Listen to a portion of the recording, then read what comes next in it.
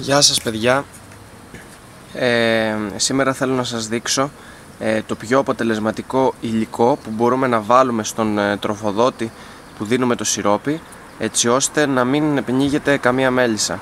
Συνήθως οι μελισσοκόμοι βάζουν πευκοβελώνες, κάτι πολύ απλό και οικονομικό και εύκολο.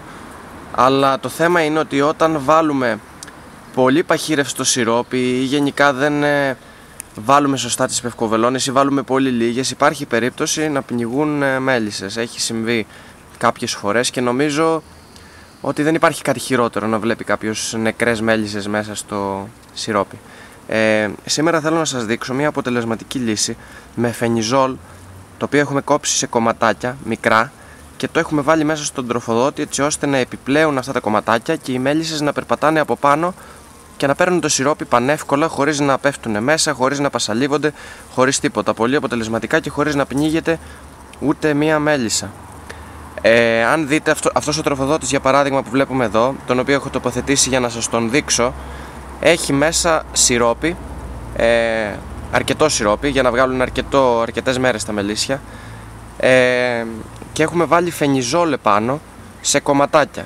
Τώρα το κομματάκι είναι ως ένα όσο, το δάχ, όσο ένα δάχτυλο κομματάκια μικρά, δηλαδή πολύ μικρά κομματάκια, τα οποία έχουμε τοποθετήσει σε όλη την επιφάνεια, δηλαδή να μην, να μην μένει καθόλου ε, κενό έτσι ώστε να μπορούν να πνιγούν μέλισσες.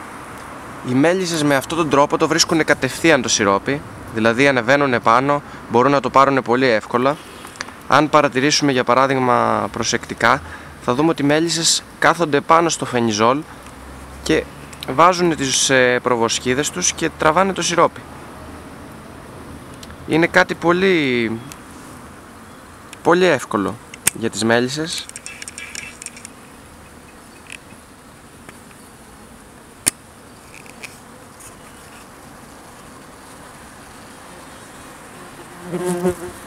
Με αυτόν τον τρόπο δεν υπάρχει περίπτωση να πνιγεί ούτε μία μέλισσα, δηλαδή δεν υπάρχει πιστεύω κάποιο καλύτερο υλικό από το φενιζόλ γιατί το φενιζόλ επιπλέει πάντα και δημιουργεί μια επιφάνεια ε, πάνω από το ε, σιρόπι που οι μέλισσες δεν μπορούν να πνιγούν. Γενικά παιδιά να ξέρετε ότι ε, επειδή έχω χρησιμοποιήσει πάρα πολλούς τροφοδότες ε, από την αγορά τροφοδότες ε, οροφής, τροφοδότες πλαίσιο, τροφοδότες ε, πιατάκι έχει τύχει παιδιά να δω νεκρές μέλισσες ακόμα και με πευκοβελώνες μέσα. Ακόμα και σε τροφοδότη οροφής από εταιρεία που έχω δοκιμάσει έχω βρει νεκρές μέλισσες και πιστεύω ότι το φενιζόλ είναι η πιο, η πιο καλή λύση για να μην, να μην συμβαίνει αυτό. Γενικά για έναν επαγγελματία το να βρεις ένα μελίσι νεκρές μέλισσες είναι τίποτα αλλά ένας νέος άμα βρει ε, τόσες νεκρές μέλισσες νομίζω ότι είναι πολύ πιο ευαισθητοποιημένος σε αυτό το θέμα, δηλαδή να δει μία χούφτα π.χ. νεκρές μέλισσες. Δεν νομίζω ότι υπάρχει κάτι χειρότερο να βλέπεις. Ε, με το φενιζόλ λύνεται αυτό το πρόβλημα και οι μέλισσες όλες ε, πίνουν το σιρόπι τους χωρίς κανένα πρόβλημα. Δεν υπάρχει περίπτωση να πνιγεί η μέλισσα με αυτή την επιφάνεια φενιζόλ επάνω. Αυτό ήθελα να σας δείξω και πιστεύω να σας ε, βοήθησε.